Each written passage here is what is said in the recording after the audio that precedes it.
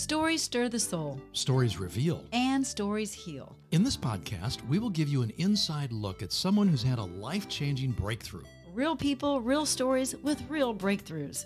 As a health and wellness expert and coach, and Todd as a men's mentor, We've seen firsthand what God can do when it comes to a breakthrough. So lean in, listen well. This could be your biggest breakthrough.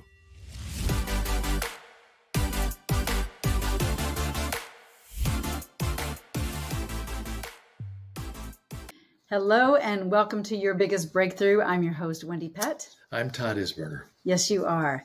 We are so excited. What are, what are you doing? Why are you Quiet just a second. Hang on. okay? Hang on. We are starting a Thank you, podcast. Lord, very much. Amen.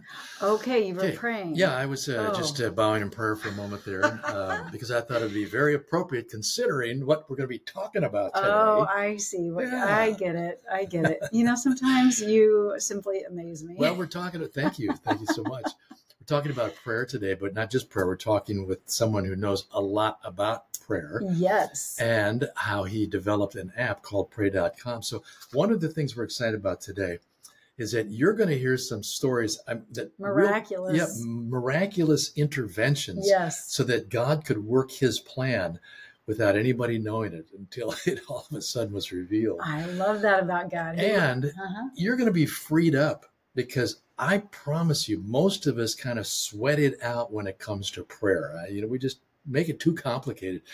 And you're going to hear today ways in which you can be freed up and the simplicity of and, prayer. and enjoy prayer. Yes, because we have Matt Potter. Matthew Potter is a co-founder, is the co-founder of Pray.com, the world's number one app for daily prayer and faith-based audio content. It's driven by a mission to grow faith and cultivate community. At a time when Potter was looking for ways to give back and become more spiritually connected, he serendipitously ran into his friend Steve Gatena at a coffee shop in Santa Monica, California. Yeah, that's one of the stories we were talking about too. Yeah. That, that whole thing was cool. So shortly after that divine run-in, uh, Potter joined forces with Gatena to launch Pray.com, uh, desiring to apply his expertise to doing something bigger for the kingdom of God. And in the process, by the way, uh, even prior to this, he had been developing over 6,000 apps. So yeah. he knows his stuff. over the last 10 years. So he is an app developer. He knows his stuff. And he and his wife, they call Southern California home. But we are so excited also that your biggest breakthrough and the Visibly Fit podcast, they're both on pray.com. So enjoy the show. Well, welcome, Matt Potter, to your biggest breakthrough. We are delighted to have you today with pray.com. You're on with us today, and, and uh, your biggest breakthrough is actually on pray.com. So this is a very special episode.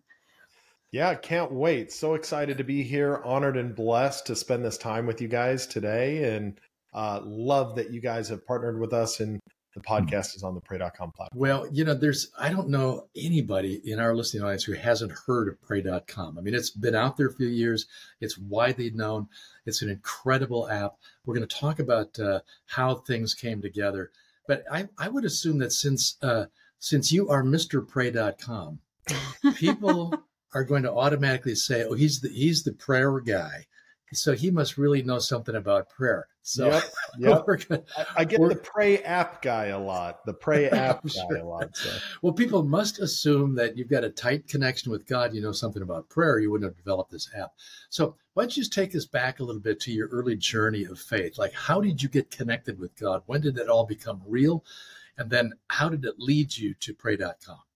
You know, uh, it actually for me, uh, Todd, it start it starts right at birth. Actually, Hmm. uh, my mom was a 15 year old girl that walked into a local community church a block away from an abortion clinic, and she walked into that church to talk to the pastor about the biggest decision she was going to make in her life because she was 15 and she was pregnant. And so the pastor uh, actually you know, didn't know what to tell her. So he called a buddy of his who planted a 20 person church in Los Angeles and said, Hey, this 15 year old girl walked into my church, never met her before. Uh, what should I tell her? And she's pregnant. And the pastor in Los Angeles said, You know what? Providentially, I just met with this incredible Christian married couple. They joined my 20 person congregation and they've been trying to have children for 10 years and couldn't. What if we set up an adoption here? And I was the baby that the 15 year old girl brought into the church. And so I got adopted because of these two pastors that were friends. So I Man. felt the providential pull on my life since the very beginning. Powerful, Matt. That I did not know amazing. that story. That's, That's a goosebumper right there, dude. I'm telling you, people look at your face and realize how God put everything together with the timing and everything. Absolutely. Wow. All Since right. So where, where did you where did you grow up, and uh, what was your journey of faith in your early childhood? Yeah, so I, I grew up in Granada Hills, and um, which is the San Fernando Valley in Los Angeles, California. Beautiful. Um, my dad, because he got me from the church, became the head elder of our church and helped the pastor grow that church to from 20 people to a 15,000 person mega church. wow. We, we, just built a, uh, you know, a $60 million brand new sanctuary. You know, land in California is very expensive. So uh, it's all relative. But uh, we built this brand new sanctuary. Uh, pastor is Dudley Rutherford. He's incredible. And Kayla Rutherford, his daughter, is one of my best friends. So I hmm. grew up in church. So my early faith journey was growing up in church, spending time with uh, Dudley, who was like a second dad to me, and my dad, uh, my adopted dad, and uh, going to Bible study fellowship. So uh, you know, my dad set an incredible example for me. My I come from a big football family. I am not talented in athletics in any way, shape, or form, but uh, my dad, you know, coached John Elway, helped John Elway uh, become the quarterback that he is today. Wow. And um, my family is all about football. So when we started doing Bible study fellowship as a kid, and it was Monday nights, and I saw that you know, the Bible and God took over football for my dad, I knew that was the biggest thing hmm. ever. And this is something that I better pay attention to and do. And so that's how my early uh, journey of faith began was Bible study fellowship. And that, for 10 years, yeah, I did that with my dad on Monday nights and some of my fondest memories. It was that that is so cool, Matt, because I think about BSF and and how it is today versus how it was back then. Back then it was actually really regimented. I mean, it still is, but it's a little yeah. more loose where you can actually have conversation in BSF yep. and it, you know what I mean? It's a little more uh, social. Totally. Um, so it's a little different but man the power of that and, and i grew up in texas so i'm all about football i hear you and yeah. so for that to for bible to take um, precedence over uh, football is a really big deal. So i think you know when it comes to prayer matt i think you know you're, you're describing well i've always been in the church you know this is just what we do. I mean did, did prayer always come easy for you? Or um, kind of tell me a little bit about your your in-depth walk with mm-hmm. with how you pray and your relationship with the lord yeah i mean since, since a young age i've always uh, had an easy personal relationship with jesus and an easy ability to pray um, and and you know i just feel like i felt like it was just kind of built in from from birth really um, i knew that god had my life and was in control of my life and put me i felt like God put me in those positions from the beginning and has always been there for me. So for me, it was easy. Um, it wasn't like an aha moment one day. Um, and, you know, I had three very specific prayers over the course of my life. And I'm not going to dive into the specifics of what they were, but, you know, God showed up in those three very specific prayers and showed me the way, um, the path for my life in those three moments. And for me, that was uh, just so confirmational um, that I was on the right journey. And even when I wasn't on the right journey, I knew uh, the way to go hmm. and the way God was pointing me to. Uh, even with pray.com. So I, I, had a very successful app company. We built over 7,000 apps in the App Store. I built that over a decade. And I just felt God tugging on my heart to do something bigger for the kingdom, mm-hmm. bigger, filled with bigger purpose. And um, at a coffee shop, randomly or providentially, my co founder Steve walked through the door, told me what he was doing. And he told me he was starting pray.com and he needed help. And Steve didn't know that providentially the day before I talked to my pastor's daughter, Kayla, on how I could help and give back to the church and what I could do to live a life filled with more purpose and meaning outside of just making revenue, which there's nothing wrong with, you know, doing well.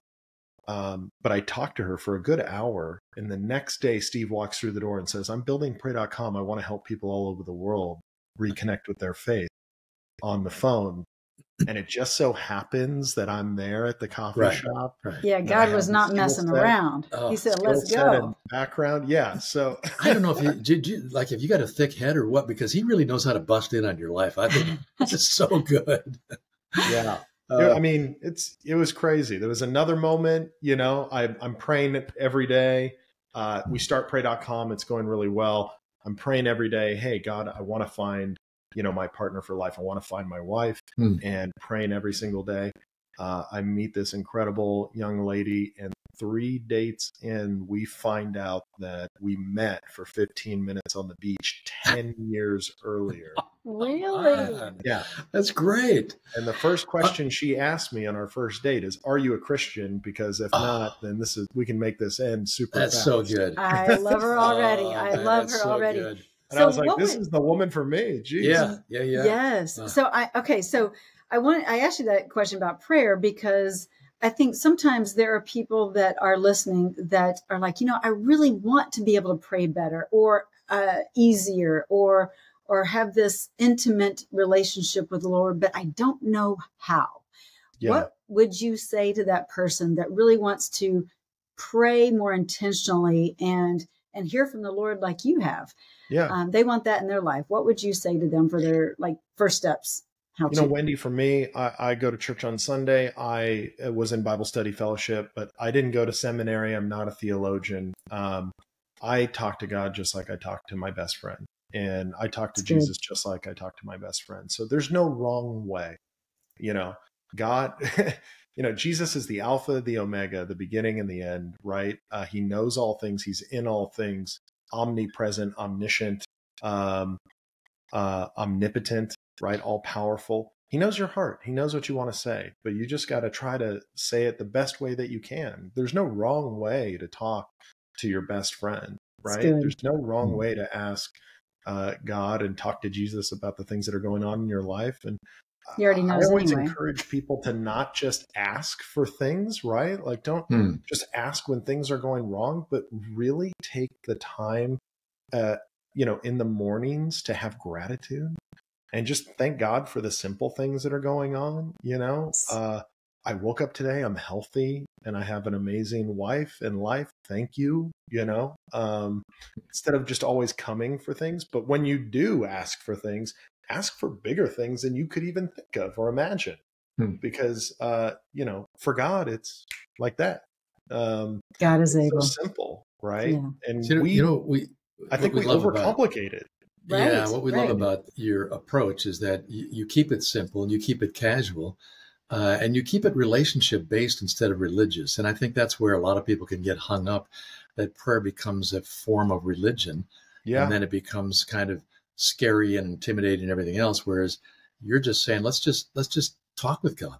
But there's one other thing that that we're observing about what's happened in your life. You obviously have an expectation that God is listening, and that when you ask God for something, that He's prepared to answer.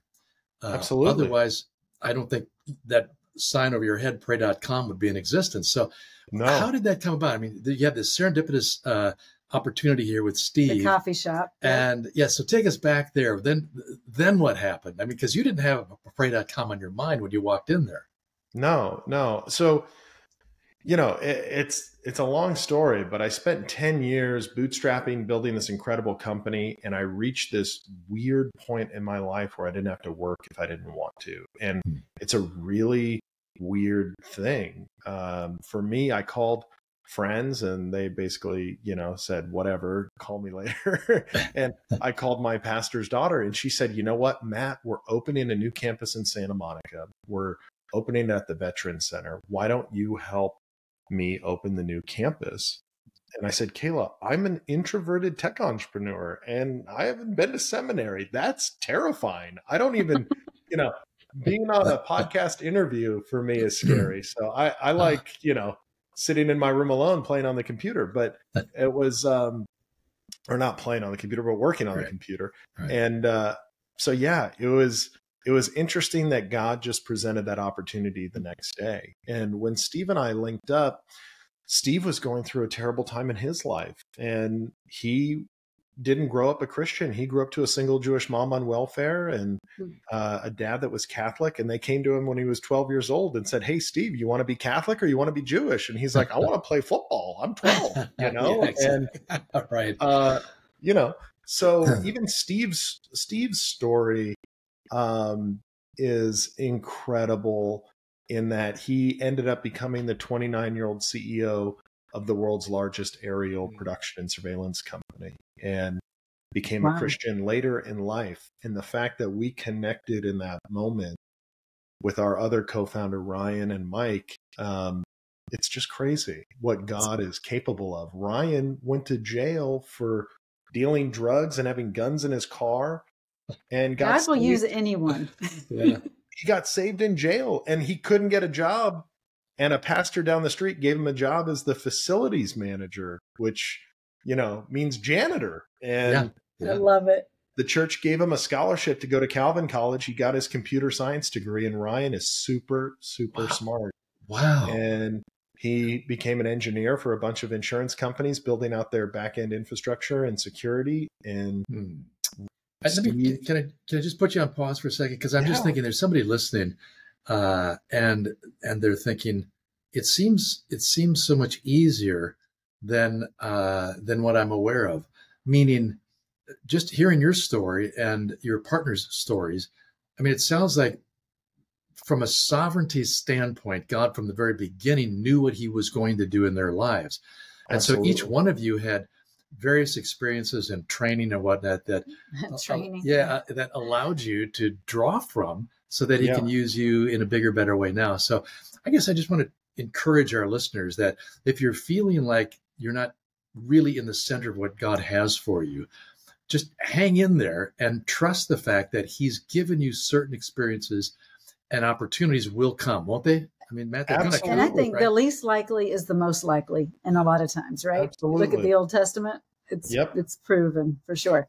and it's not going to be no work. I mean, Mm. Ryan, Mike, Steve, and I, we're we're still doing eighty hour weeks. We're doing hundred hour weeks in the beginning. You know, Yeah. uh, it's not like God's saying, "Hey, I'm going to give you everything, and Right. it's not going to be any work." Right? Um, yes. That's a good word right Yes. there, It's Matt. going to Yes. be hard work, and there's going to be moments where you question and you go, Mhm. "Why am I doing this?" And God gave me this opportunity. It's a lot of work, you know. Uh, and I didn't have to work, and here I go. Yeah, yeah. Right. And, and you know what? He's preparing you for something. Yeah, Mm. that's good.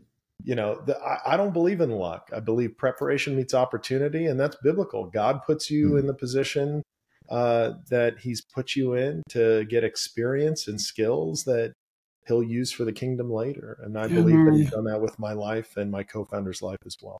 So Amen. good. I love that. Can you tell us a little bit about, um, you know, you said one of your your co-founder Steve wasn't in the best place uh, mentally when you saw him at the coffee shop. Let's talk about prayer and the connection with mental health and and prayer and how that can uh, bridge the gap. How br- prayer can. Yeah, yeah, that's a great question. It's also a question we've been asking at pray.com for the better part of a couple of years here. Hmm. We created a pray science division. And I know, right? You'd think, wait a minute, religion and science. science? That Yeah. doesn't go together. Tell us more. You're right. That's weird, you know, right? Uh, but really, it works. And, Huh. uh, you know, God is the creator of the universe. Like He Louie Giglio. It makes me think Louie Giglio stuff. Laminin. Yeah, that's right. So Yeah. we are in the middle of clinical trials to prove the efficacy of prayer on your brain and your body and what it does to you. And really, some of the things that we found in other studies and Pray.com's studies is, you know, prayer increases the gray matter density in your brain. There's there's all sorts of things out there where it reduces anxiety and depression. And why wouldn't prayer have a physical effect on your body when you're talking to your creator who created your body in the first place, right? Um, Yeah. what a novel Serotonin and idea. Yeah, yeah, Yeah. I, I I read a of the- study yesterday about couples that pray out loud together. Like one in every 1100 get divorced. One divorce Wow. in Well, then we're gonna do great, We're gonna that great. pray out loud together. Oh, man. We're gonna do well. That's encouraging. I, I, I, I wonder if the challenge in prayer isn't, again, sort of the notion that to be effective in prayer, you have to be very disciplined, very rigorous and regimented. And like Martin Luther, it was said, uh, you know, when he had lots to do for the, he typically would pray three hours a day. That's how the story goes. But on the days where he had a lot to do, he'd pray four hours a day. Now, I have no idea if that's true or not. But you know what I'm saying? The notion for most people is that I don't have time. prayer is a lot of work and it's kind of beyond me. And I, I just don't know that I've, I've got the ability or the time to really invest in what I perceive to be meaningful prayer. I think the enemy wants you to think that. Yeah. Yeah. I think you know, if you if you if you have a healthy fear of God and you also believe that he is your creator, I mean, it's so easy just to, you know, spend 2 minutes, 5 minutes in in between time, anytime, in the car, driving. You know, you can pray anywhere. That's the beauty of prayer, right? And you don't have to be regimented where you spend an hour a day, 10 minutes a day. Uh, you don't have to be super disciplined about it. But I think it does change things. It does affect your physical body. It does affect your brain. Um, and why wouldn't you want to talk to the creator of the universe? Why wouldn't right. you want to talk to the person, the, you know, God who can affect anything and all things in every way possible? So, um, the one that knows us best. it's not something you have to be so regimented about. It's Hmm. like talking to a friend. Um, so that that's my opinion. I know Matt, your other people freeness- have other Yeah. opinions on it, and you know, But I think you're freeing a lot of people to relax about it and Yeah. to trust the love of God.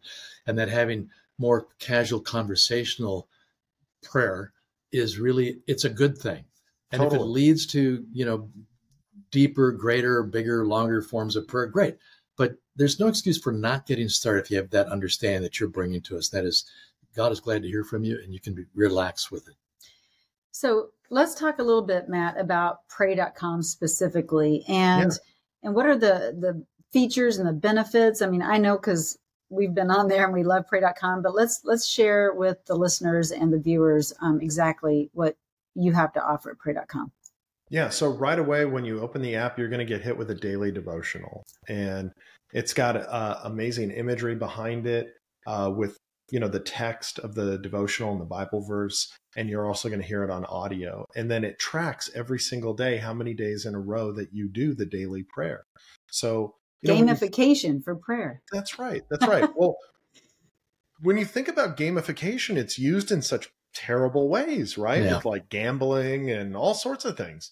But why can't we use gamification to get people to remember to pray? So we were talking about, you know, it's hard. I, you know, remember discipline. Accountability. Hmm. Why, yeah, let's just make accountability. And why not make our day easier to be able to do it? So the app sends you a push notification to remind you, you open it, you get the daily devotional, and then it tracks how many days in a row. And once you open it, you can remind other people to pray too, who are in your friends. So you can just click and say, hey, this person's going to lose their streak. They're not going to remember to do their daily prayer today. You can just click remind, sends them a push notification, remind them to do it.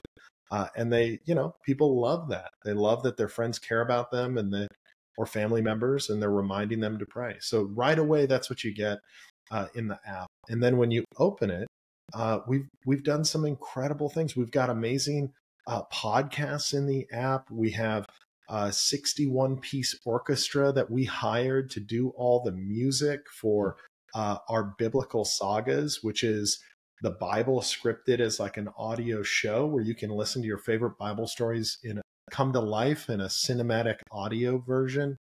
Um, you know, we've got that also available in a kids version too. My nephews love David and Goliath and listening Huh. to it. And, uh, you know, it's really great for kids when they're falling asleep and adults to fall asleep. We have a huge sleep problem in America. Our minds are so busy. There's so many things going on in the news from pandemics to wars.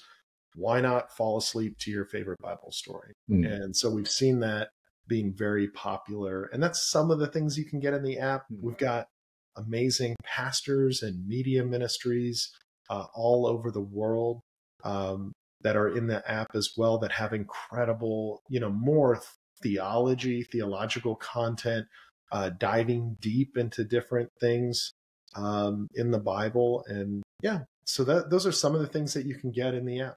It's a one-stop so shop yeah. for prayer yeah. and uh, all things uh, Jesus. And actually, I see here in some of the notes that I have here that uh, this is a number one app for daily prayer and faith-based audio content, uh, and it's the only religious app in history to break Apple's top five lifestyle wow. category. Mm. Like that's yep. huge. That is. Yeah, that's right. Man, I, I was, go ahead. Go ahead. We hit number one uh, actually in mm. lifestyle in 125 countries around the world. So wow, Matt! It's been it's been praise God. really, it's only because of God. I mean, it's only because of God that He brought us together. It's only because of God that we've been able to grow the way we've grown. Um, and yeah, we've had over 1.4 billion listening minutes of content on the oh, praise so the Lord. People, people are um, hungry, yeah. and you know it's it's hard. We have you just mentioned it before. We have busy lives, right? So while you're driving, while you're, while you're walking, walking. while you're at the gym, or you're doing chores in the house, you can yeah. go right here and just click play, and you can get all the Bible based content that you want. Well, it's not hard to find, pray.com, and uh, it's an app that's uh, most widely used around the world. There are other apps out there.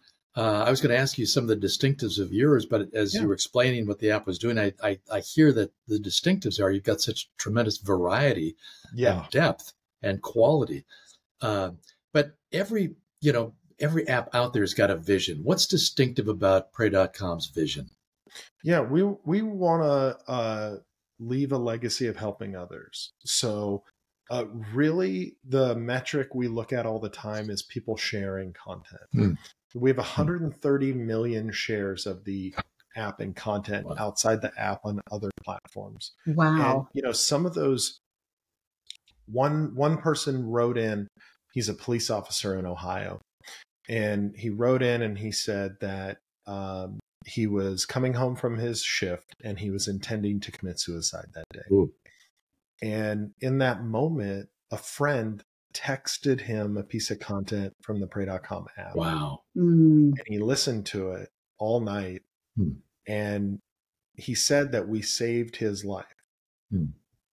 We we didn't save his life. I didn't save his life. God saved his life his mm-hmm. friend that listened to God in that moment to share that piece of content and have the empathy and the EQ, you know, the emotional quotient to understand his friend was hurting in this time saved his life. Uh, we are just a vessel and we are able to orchestrate that. And so that is something that we really look at. It's sharing content, uh, getting the message out, getting the word out to people who are hurting, who, you know, like you said earlier, we have a huge mental and spiritual health uh, crisis going on in America. We call it the hidden pandemic after the pandemic because it's something people don't want to talk about. Right. But there's people hurting all over. And you can't always pandemic. visually see the pain, right? Yeah, that's Until right. Maybe it's too late. And and most folks are embarrassed about talking about it. Mm. It's just in my head. You know, I just wow. absolutely love. I haven't heard of a vision quite like that, where you want to leave a legacy of helping others uh, so that everyone yeah. can experience that. And with today's technology, it is so easy to do. It's just taking your index finger or your thumb and hitting a couple of buttons and clicking. That's and right. that's a great, great story to illustrate the uh, the effectiveness of doing that. Yeah, right. and I think about the people that you're reaching around the world. Yeah. You know, I mean, that's the power of technology.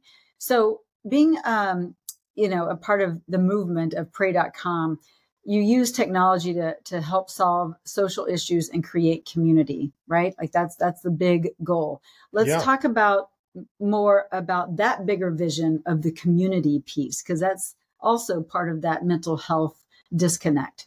And pray.com yeah. wants to make a big impact there. Absolutely. So, like I said, you know, we want to uh, create a world where everyone leaves a legacy of helping others. How we create community in the app is a couple different ways. One, with the sharing of content, right? You can share content, you can create group chats.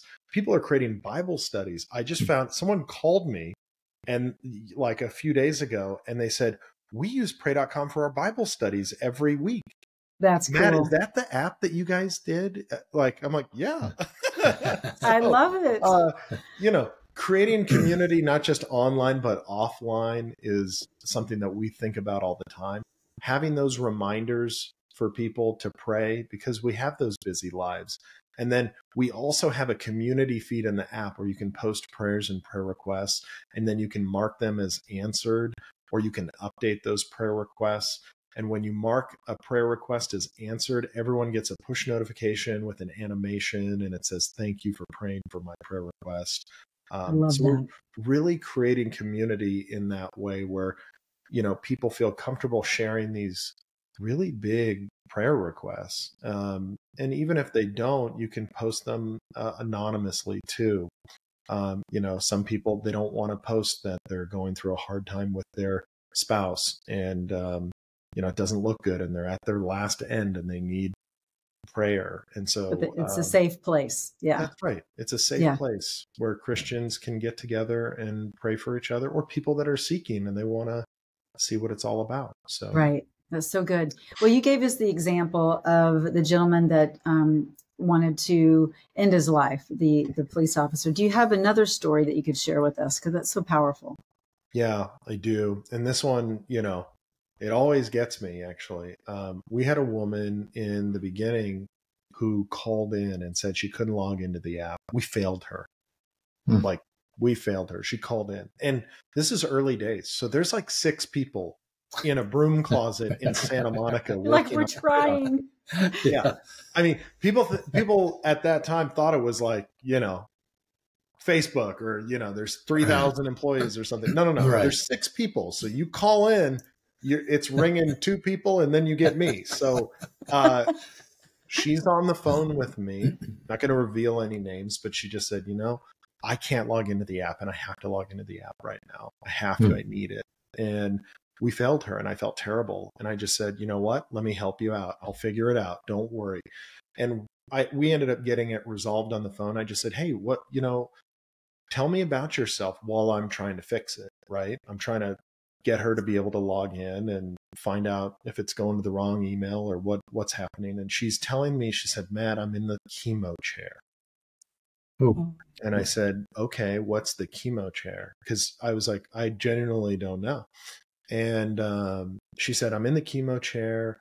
I, I, I and I'm like, what is that? She's like, well, I have to get chemotherapy. I'm stage four cancer. Uh, and I said, oh, I'm so sorry to hear that. You know, I'd love to pray for you. And she said, this is actually my second time. Uh, and I've, I've outlived my children and my husband. I'm all alone and I love listening to your uh, biblical saga series. It helps me in the four hours I'm in the chemo chair. And I said, "Oh, I'm like, I'm getting, I'm losing it, right? Like I'm trying to hold it together on this call." Uh, and I finally ended up getting her to log in.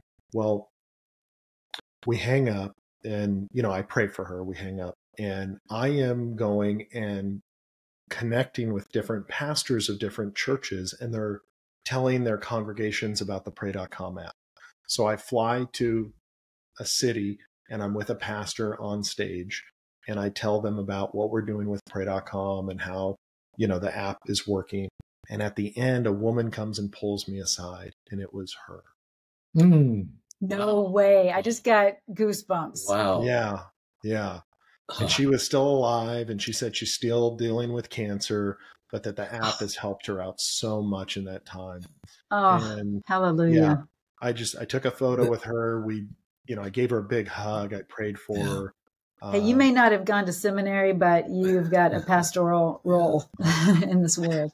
thank you Well, very and much s- Thank you. stories like that, hearing that kind of impact, that that helps sort of fuel those eighty-hour work weeks that keep Yeah. you going. yeah and I, Uh, I mean actually because of that, what we do is any feedback we get from the app, we pipe it into our system where all the employees see it every day. That's so, So- That's powerful. Every Yes. single person at pray.com sees uh, all of the reviews every single day. We have a Hmm. system we use, it's called Slack. Everybody's on it.